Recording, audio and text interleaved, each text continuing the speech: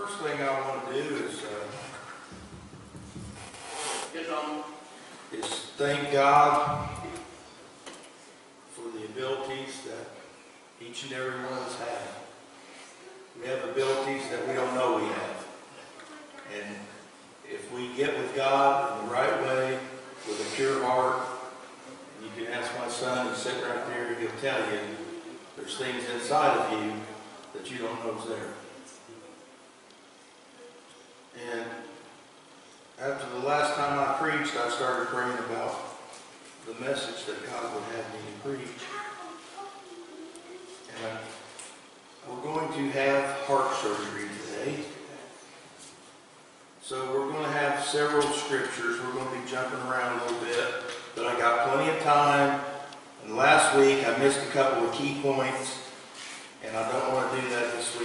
So I'm just going to take my time. If we have to turn just to one scripture, that one scripture means something.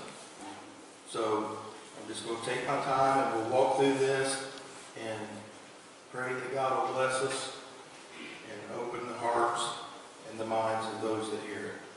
So let us pray. Heavenly Father, we just thank you, Lord, for this time to be in your house, to worship, to serve you, to praise you, to bring forth your word, Lord, to your people.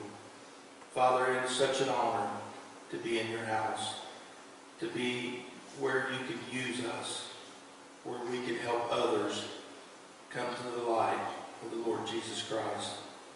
Father, we just pray and ask that this would be all of you and none of me. Father, we ask it in Jesus' name that the Holy Spirit would engulf the hearts and the minds of those that hear this message. We thank you and praise you for it. In Jesus' name we ask it. Amen. Okay, let's turn to Matthew 5 and verse 8. It's one verse, and I know that you've all heard it. It says, Blessed are the pure in heart, for they shall see God. That's a very simple verse, but as we go on through this message, you'll find out that the heart very deceitful device. And we're going to look at some of the things that the heart does. So I want you to turn over now to Matthew 15. We'll start at about verse 8, I believe.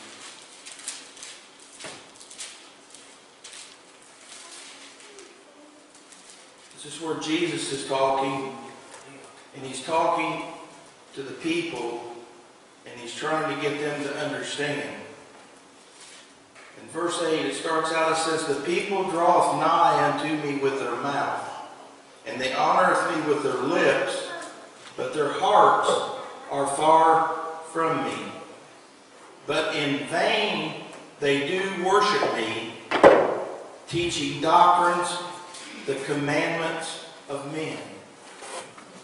Now, if we see a lot of this in the world today, everybody that you run into claims to be Christian. You see them everywhere. And I'm not saying that they're not, but Jesus said that you'll know them by their fruits. You know, there's many Christians that say they're Christians with their lips, but their heart is far from what they say they are. And it's obvious that you can see that in them. Then he goes on to say, And he called the multitude and said unto them, Hear and understand. Not that which goeth into the mouth defileth a man, but that which cometh out of the mouth is that that defiles a man. What he's saying here, it's not what you eat, not what you drink, not what goes inside of your belly that defiles you. It's the words that come out of your mouth that defile you. And we'll learn a little later on in this lesson where those words are really coming from. Then came his disciples, and they said unto him, Knowest thou the Pharisees were offended after they heard his saying? Now, when it comes to preaching the true gospel of the Lord Jesus Christ, and it doesn't take very long when you're out there in the world to tell somebody what the Word of God says and they're offended within the next 30 seconds. They get offended very quick, right? in the church. Right, and that's what I started to say. It's in the church, it's out there. It takes nothing to offend someone anymore. I mean, it's, it's horrible.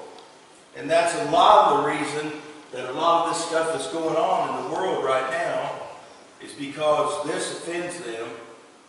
And a lot of times people will use the- the excuse offended to justify what they do. But Jesus answered and said unto them, Every plant which my heavenly Father hath not planted shall be rooted up. Now let's stop right there for a minute. 1 Corinthians 3 and 12 and 13. Let's turn there.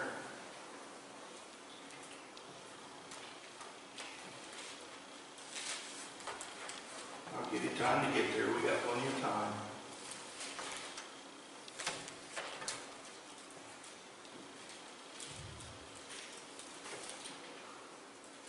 And it says, every man, or now if any man build upon this foundation of gold, silver, precious stones, wood, hay, or stone, every man's work shall be made manifest for that day, and shall declare it.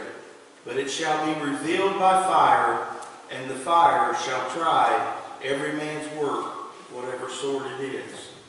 So what, what he's telling us here is, when we do things, we are supposed to do things from the heart. When we do things from the heart, God knows the intent of the heart. He knows what reason we're really doing it for. Are we doing it for something to benefit us? Are we doing it for something to benefit others that's done in secret that you want nothing in return? So all the works that we do here on this earth, it's all going to be on the, that day at the judgment seat of Christ. It's all going to be thrown in the fire, and what comes out pure is pure, and what burns up, burns up. And God's going to know what kind of heart you had when you did those things that you did. So the next verse talks about this, and it's Hebrews 4 and 12. We've heard this a lot. It starts out and it says, For the word of God is quick and powerful, sharper than any two-edged sword, piercing even to the dividing asunder of the soul and the spirit and of the joints and the marrow, and is discerning thoughts and the intent of the heart. So when we do things, we need to do them with a good heart. We need to do them with a godly heart. We need to have God in mind, and we need to be acting like the Lord Jesus Christ and doing the things that the way that He would do them instead of the way that we would do them as far as men's doctrines teach us to do them and things of that nature.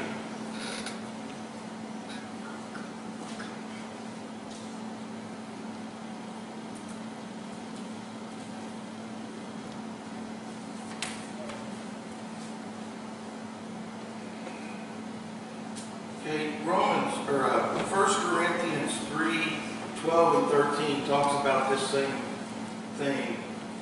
And one of the things that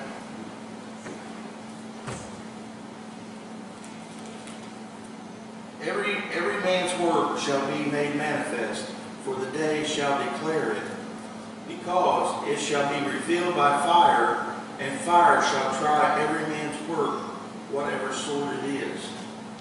Now, when, when we say I go downtown and I give Danny twenty dollars because I know he's hungry, and I give it to him like, man, this is the last twenty dollars I got, but I know he's hungry, so I'm gonna give it to him anyway.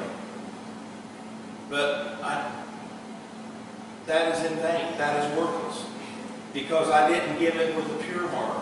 I didn't give it with a heart that Christ would have gave it, and knowing that he was hungry, and it is my responsibility, if he is hungry, to feed him, to give him and help him in what he needs.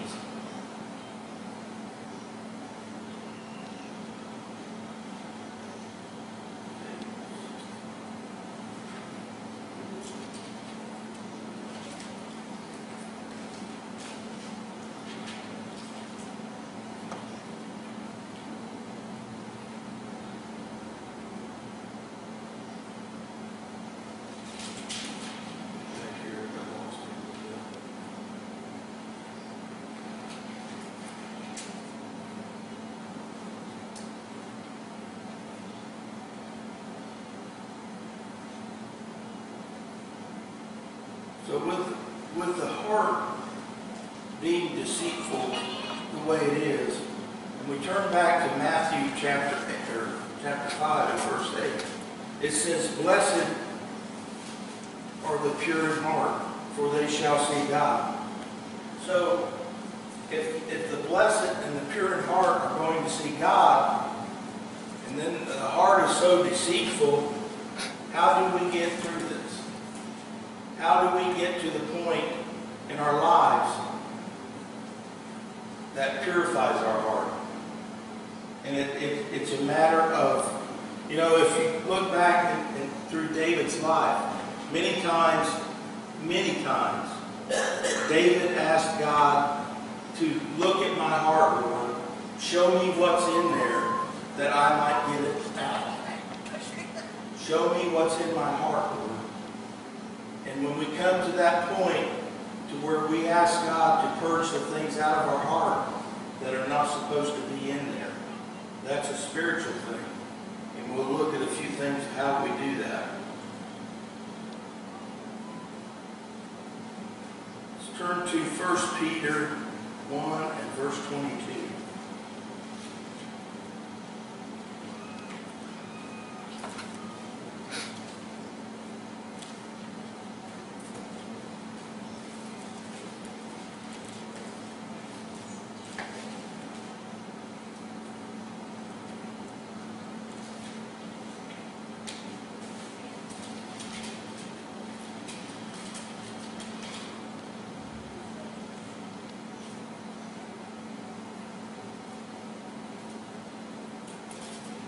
Says, Seeing you have purified your souls in obeying the truth through the Spirit unto unfeigned love of the brethren. See that ye have love for one another with a pure heart fervently. So one of the ways that we purify our heart, it has to be done through the Holy Spirit. We can't do it on our own. It's an act between man and God and having a personal relationship with God to help us to understand and reading God's Word and knowing what's in God's Word to be able to discern what should be in there, what should be coming out of there, and things of the such.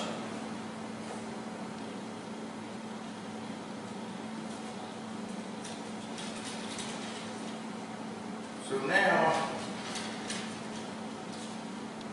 we go to James 4.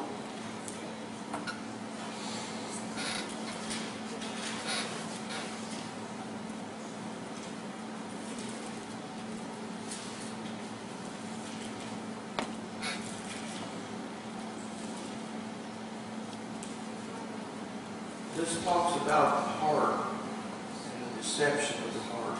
We've been talking about deception a lot in the Bible study. And I think it's in Jeremiah 17 and 7. He said the heart is deceitfully wicked. What does he mean by that? It means that the heart, there's things in our heart that we don't know are there. And the only one that can search our hearts is the Lord Jesus Christ, God. He knows what's in our hearts. And that should be in our prayers often, is for God to examine our hearts and take the things out of our hearts that are in there that should not be there. So let's go to James 4. And he says, From whence comes wars and fightings among you? Well, that happens a lot. Come they not hence, even of your lust that wars in your members? You lust and you have not. You kill, you desire to have, you cannot obtain. You fight and war, have not, because you ask not. You ask and receive not, because you ask amiss, that you may consume it upon your own lust. When we pray for things, we need to pray for things with a pure heart that's truly going to glorify God. It's going to help the people that we're praying for, or whatever it is, or it's going to help us, and it, or it's something that we really, really need, whether it be food or clothing or housing, But when you pray, Lord, give me a new Mercedes Benz, that I can go out and look good, you're praying amiss. You're praying for something that's not benefiting the kingdom of God. You're praying, praying the way that God doesn't want you to pray. And then it goes on, it says, Ye adulterers and adulteresses, know you not that the friendship of the world is enmity with God? Whosoever there is a friend of God, a friend of the world, is the enmity of God. That word means hostile before God. You, you don't like what God told you, and instead of obeying God, you go against God and His Word and do what you want to do instead of doing what God tells you to do. It says, Do you think that the Scripture saith in vain, The Spirit that dwelleth in us lusteth to envy? It's a, it's a constant battle in our flesh. The Spirit and the flesh are constantly battling one another, back and forth, back and forth. The flesh wants the carnal, earthly things. The Spirit wants the spiritual things of Christ and of God. So we have to be careful in discerning what, what we're asking and doing. Do you not know that the Scripture saith in vain, The Spirit that dwelleth in us lusteth unto envy? I love it when the Bible says this. But he giveth more grace. God's abounding grace is greater than all of our sin. First John 1 and 18 said, Every man has sinned. Every man's fallen short of the glory of God. We've all sinned. We've all got it in us. We've all got deceitful hearts.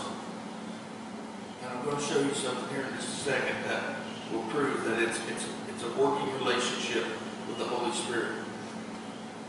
But he giveth more grace, wherefore he saith, God resisteth the proud, but he giveth grace unto the humble. Submit yourselves therefore to God, resist the devil, and he will flee from you. Right here's the key. Draw nigh to God, draw nigh to you. Cleanse your hands, you sinners. And listen to what he says. Purify your hearts, you double-minded. Well, if, if our hearts are so deceitful and wicked, how do we purify them? We have to do that between God and the relationship we have with Christ. You cannot purify your heart if you do not know what that says. You cannot have a truly good personal relationship if you don't know what that book says. Because you're acting on your own with no guidance from the Word of God.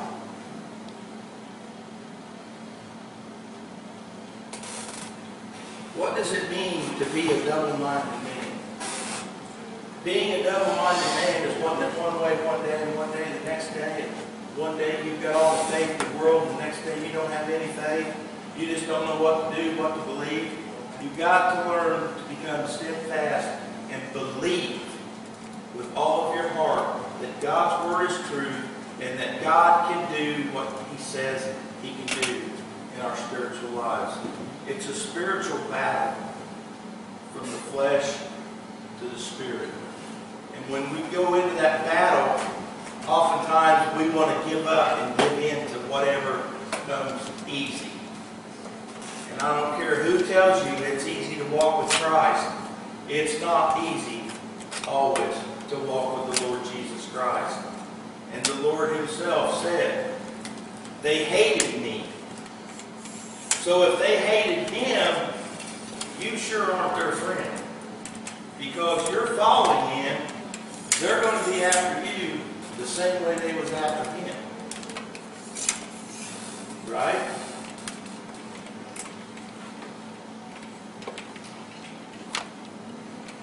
One of the things that defiles the man is, is the, the sins that we let into our lives. You know, we we got to learn what what is sin. You know, what what is sin? And some of the things, sin simply means to miss the mark, to do something that God said we can't do, and we do it anyway. So I'm going to go back here to.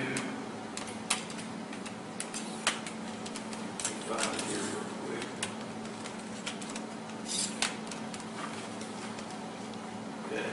I'm going to start about Matthew 15, and I'm going to start up again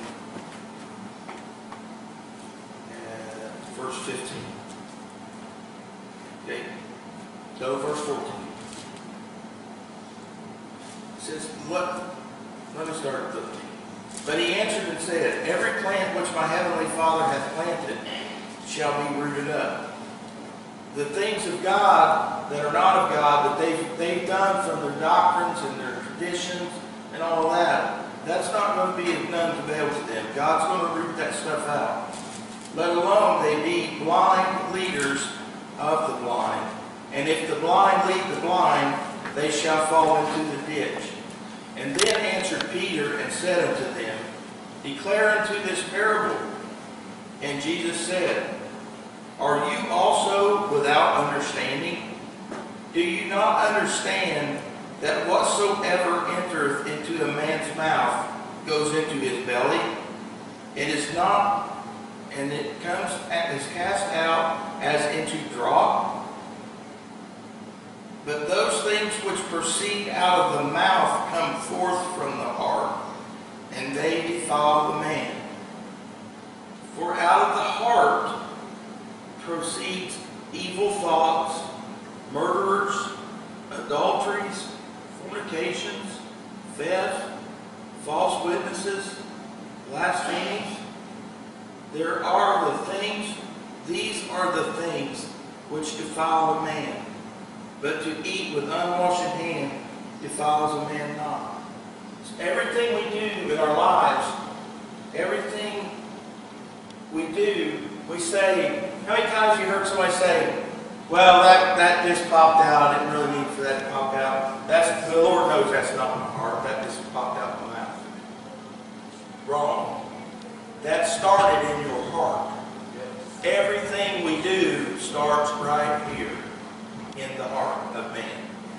And we need to be careful and guard our hearts with all diligence on what we see, what we hear, what we watch, what we do. Because it will get into your heart and eventually it will come out of your mouth. Amen? So we need to really be careful what we let inside our lives. I know growing up and learning to be a Christian, I thought about this a lot. We've been talking about deception in Bible study. And I thought, you know, all the bad things that I've done, and I thought I was a halfway decent person. But when you really get serious with God, God could show you that you wasn't all that great. He gave you a ton of grace to get through it. But you really wasn't all that great for what he was wanting you to be. Say, oh me. And we all know what I'm talking about. I've got sins that I pray to God that no one ever finds out. But I don't have to remember that anymore. Because I know that my Heavenly Father has forgiven me. I was in a really bad wreck, and for years I asked God, you'd have been better off if you'd have let that kill me. I would have been better off. God said, nope. Well, why didn't that kill me? I asked God that question for years. Now I know. Here I am. God had a purpose and a plan for all the sin that he had to probably shake his head at when I was committing. All the things that I'd done wrong. But God knew, and I'm just now really learning this. God knew thanks to him, God knew what was really deep down in my heart. Thanks to God. Amen. So we need to be careful at what we let into get into our hearts. And I'm just asking everyone here just to take a minute. Don't be afraid, because I've done this, and He will show you if there's things in there that shouldn't be in there. And I would rather ask Him now and get rid of it and deal with it than die with it still in there. Amen. Because where does God judge you from? In judgment. He judges you from the heart. So, with, with, if he judges you from the heart, what do you need your heart covered in? You need your heart covered in the blood of Jesus. Because without Jesus, no man can accomplish a pure heart. And having a pure heart simply means that you're trusting in God, you're trusting in Jesus, and you're taking your sins to God as quick as you know you committed them. You take them to God, and you learn to grow from that. You learn what to let in and what not to let in. But no matter what you do, if you sin and you fail, you get on your knees and you repent to God. I know that was wrong. Please forgive me. And you get a brand new start. I've started at least 15 times in one day. In, in one day. Yeah. So I just want to encourage you all to, to take time for yourselves and ask God, show me what's in there. He showed me something that was in there since I've been coming here that I had no idea. But I was finally persuaded that that was exactly what it was. And I'm not ashamed to say it. It was pride. What's the seven sins that God hates the most? Pride's about number two on the list, and that's what it is. Pride. Oh, I don't need that. God's always made me a way. I don't need to go down there. Hello? He's making you a way right now. What do you need to say that for? Why do you need to make him another way when he's already made you a way? Pride. They got a better way. Exactly. So I just want to encourage you all. There's tons and tons of scripture. But the, the thing that I wanted you to get was those that have a pure heart will see God. But how do we get to that pure heart? We can't do it on our own. It's a working relationship between us and God on a daily basis, walking in the Spirit, killing the flesh, and what did James say? Purify your heart. He didn't say God's going to do it for you. He said, you purify your heart. And you and me. All of us.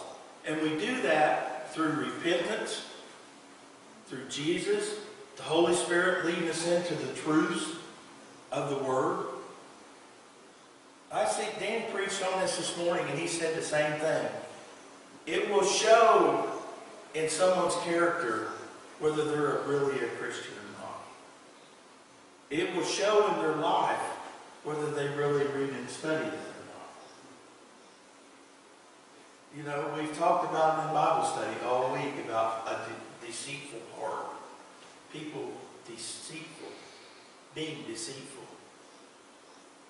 Satan is so slick and so sly and that pride thing, that was all him. He was convincing me that that was not pride. I argued with that man for two weeks over that. He said, Ricky, calm, collected, cool. That's pride, buddy.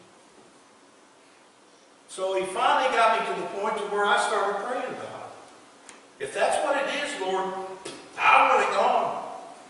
Out of here. I don't want it in my heart. That's what it was. And hopefully it's gone. I think Jamie's seen improvements in that area too on my behalf. So let's everybody just always be cautious of what we're watching, what we're doing, what we're saying, and especially what we got, what we're letting in our hearts. Because that little word, that little bad word didn't just pop out of your head and out of your mouth. It all started right there.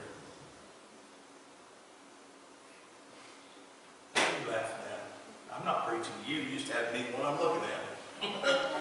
So, if there's anybody here tonight that needs to receive Jesus, that you need to bring a sin to the altar to get rid of it, you, I welcome you to come. I want you to come, get a. And just take a moment to reflect how deceitful your heart really is and how much your heart can lie to you. See, everything Satan done, everything Jesus done, Satan tries to duplicate. And he's very crafty. And one of the things since I've been this big was for God to show me and teach me what sin was. And the more and more I learned about those things, and I'm not saying this in a bragging way at all. When you got the Spirit of the Lord in you, you can see Him coming a the way. Am I right? So I'm just going to stand here,